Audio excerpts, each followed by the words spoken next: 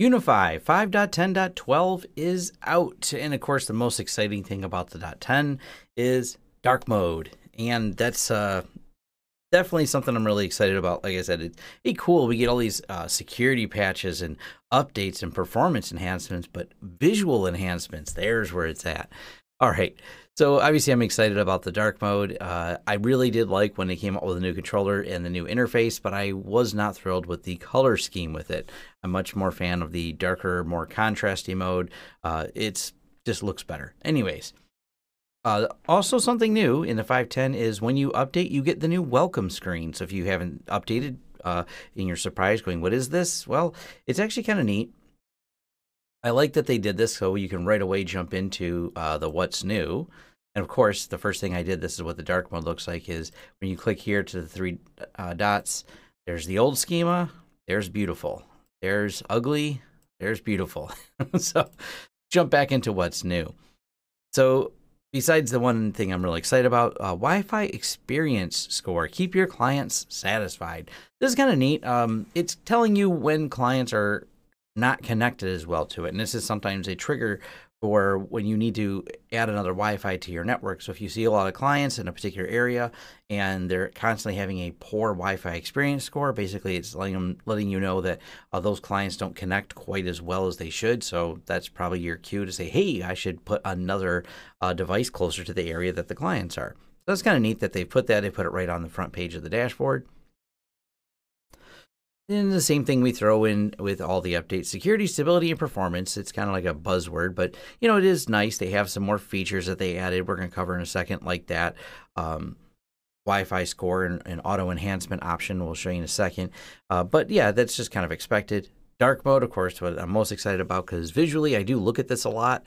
Um, you know, when you're working on stuff and being able to see things in better contrast makes me happy. And I like that they chose green and black. That just, you know, even my terminal has the same color scheme.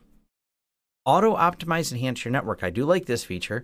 So the enhancement is it's got some tuning features. Now these tuning features can be applied manually. Um, still, it's just an option to auto optimize. And if you've ever done a larger deployment, there's things like turning off uh, multicast broadcast so you don't get kind of like a lot of chatter and noise on the network. Those features are now uh, one click away instead of having to go and set them on the switches. So I think that's really nice that they did that. Uh, visual enhancements. And we'll cover this uh, too, as it seems like there's a lot of visual things on there. Now, the first thing I'll note is you do need to upgrade things, and that was right here. Uh, minimum requirement, and I'll show you what happens when you don't. Required firmware for access points would be 4.09 minimum and USG 4.434.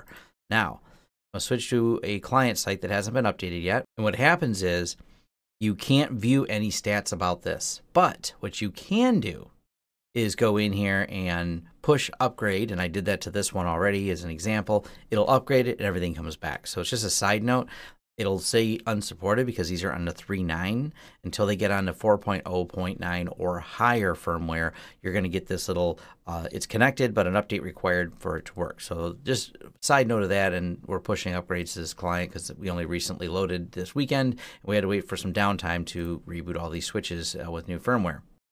So back over here to the dashboard it says everything is good. Here's your uh, my wi-fi experience is 80 why is it 80 well it kind of bounces back and forth, and we have a couple devices that aren't connected. They're in the corners of our office. Um, it whatever reason the Amazon Dot is seems to be bringing it down. Sometimes it pops up in here. We're playing with it. Um, we also were doing some Wi-Fi testing with here. I, the Wi-Fi experience score is kind of novel to me, but it's not. Uh, it's not amazing you generally still have to go in, look at each client, try to figure out why they're having a problem or what problems they might be having. Um, so it's kind of novel. I guess it can alert you to some of the issues. Uh, I'm more for very narrower, specific statistics. So I guess it's nice because it puts on dashboard, it gives you an idea. But what they did do is enhance the way this looks. So this is different than before, but I really like it. Um, there's something to be said about having the way this interface works and having good visuals on it. And it's rare. You don't see this a lot in any type of commercial products. Um, UI always feels like a bolted on afterthought, like just enough to make it function and no more. Versus UniFi takes the time to make these look a little bit nicer. Uh, you know, little mouse overs, little rounded edges on windows. And they added this. So if we go over here, the way the little rounded buttons are is uh, really nice in this version. So that that time and attention to detail is great. One of the things I do like about their UI, um, and this has been common for a while for them, and with the dark mode it enhances it more, is you know I can glance at this and tell you right away what switch ports, what's plugged into what. I can also say things like, hey, okay, this was with a mouse, over. all right, this is the 10 gig uh, plug into this, or that's, you know, it's just easy, easy to view and see without having to really stare at it. Um, same thing here. If we pop out the Wi-Fi, we show what Wi-Fi devices on there. And let's see, Notify Senpai connected users, guess. It's like I said, you can go right to the Wi-Fi here and see everything in a really easy to read manner. Um, so they've they've just enhanced this a little bit, so it's pretty cool. And if you're not familiar with why this is called Air Rectangle, that's because this is the uh, large base station XG I did a review on. We have one here in our office. That's our uh, beta one that we've been testing.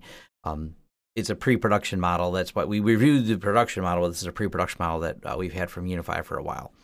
Uh, same thing with the 10 gig. It's kind of cool. They're still white to show you that they're the uh, 10 gig ports. This one is the uplink that's only at uh, gigabit. But once again, really cool. Uh, if we go over here to statistics and we look at the switch stats in our office, they did a nice job on this, the way you can switch. I like the animations.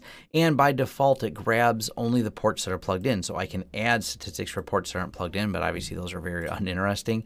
But if you want to narrow it down and look at what's going on through a single port, you can easily just click these and make that happen. Now, under the settings, this is where they added the do, do, do, auto optimize, and I have it turned on. Automatically optimize network and Wi Fi performance. And what this does is it connects high performance clients to 5G only for all Wi Fi networks, blocks multicast and broadcast traffic for high density Wi Fi networks.